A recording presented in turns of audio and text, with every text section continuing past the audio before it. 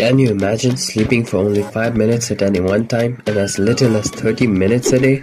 This is exactly what giraffes do. Being a large animal in the middle of open plains, any time spent sleeping is time at risk from predators.